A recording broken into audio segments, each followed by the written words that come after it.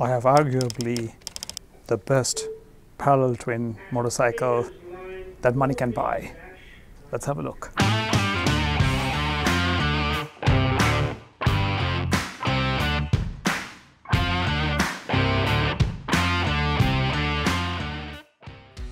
Spoiler alert.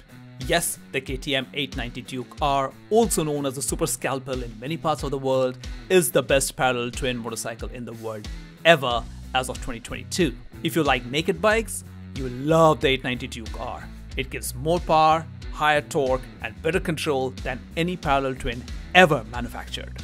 Let's first do the numbers on this motorcycle. It is an 889cc parallel twin liquid cooled engine with 8 valves, double overhead cam that delivers 119 bhp and 99 newton meters of torque. And combined with a dry weight of a mere 166 kilos or 365 pounds and a wet weight of 188 kilos or 413 pounds, you get an amazing machine that accelerates from 0 to 100 in 3.1 seconds, which is nearly equivalent of most litre class bikes out there. You get a 6-speed gearbox mated to a slipper clutch to avoid rear wheel hopping under downshifting or heavy deceleration. The engine features horizontally split crankcases made from high pressure aluminium with thinner walls to reduce weight. The crankshaft and flywheel setup has been changed and is heavier to increase torque delivery. You get really good torque at lower revs. Tank capacity is 14 liters or 3.7 US gallons, giving you a range of 250 kilometers or 150 miles if you're riding within speed limits.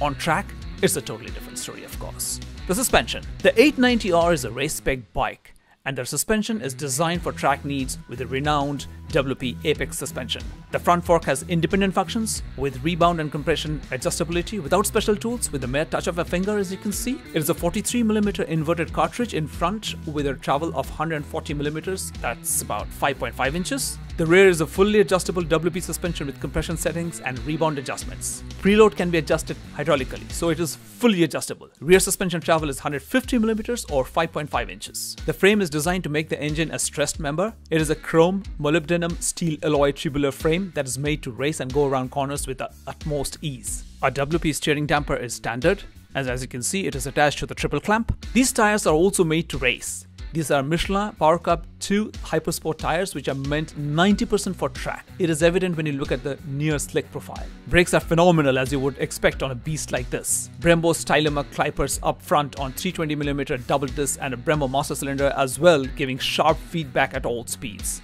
Rear brake is also a Brembo on a 240mm disc. The rear brake also gets a Brembo master cylinder. You get Supermoto ABS mode which switches off ABS from the rear brake and you can slide around. Cornering ABS is standard. Let me show you how I sit on the bike. I'm 165cm or 5 feet 6 inches. The seat height is at 840mm or 33 inches. It is a relatively high sitting stance with the rear set foot pegs all designed for a racier and more committed stance for better lean angles if you have to go racing on track and scrape your foot pegs. The gear lever can be adjusted for race shifting without any additional parts. The handlebar is tapered and positioned lower for better feedback from the front end. There are three rotational adjustments and four positions of fine tuning, the triple clamp for more committed stance and an aggressive riding style. Though I do admit that seat comfort was not on top of KTM's R&D when they designed this bike, it was never meant to be.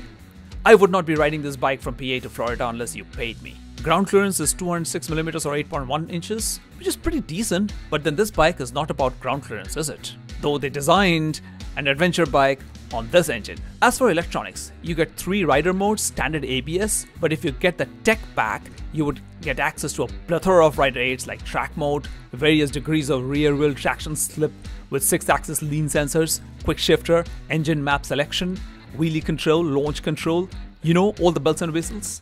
At 12,399 US dollars, it is more than the price of a super sport, but much less than the price of a full-blown litre class super bike. Yes, it is indeed the best, fastest, and the most tech-loaded parallel twin to have ever been manufactured, and will probably rule the middleweight segment for a few more years. Who is a worthy rival of this amazing motorcycle? I would say the MT09 SP version from Yamaha is a rival worthy of mention at a similar performance and similar price. I'll leave that debate for another day. That would be a good comparison.